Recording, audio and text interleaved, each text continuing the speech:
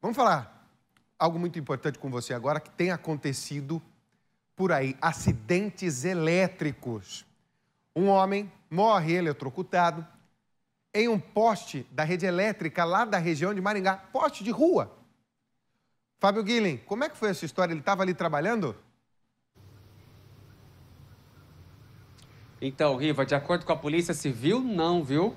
De acordo com a Polícia Civil, o homem estava furtando, tentando furtar o fio da rede elétrica em Paysandu, uma cidade que fica aqui na região metropolitana de Maringá.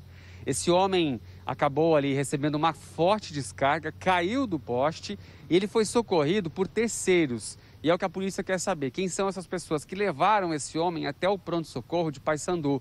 Deixaram ele no pronto-socorro e aí as equipes tentaram reanimá-lo, mas infelizmente não deu para fazer nada, viu? O homem perdeu a vida, morreu.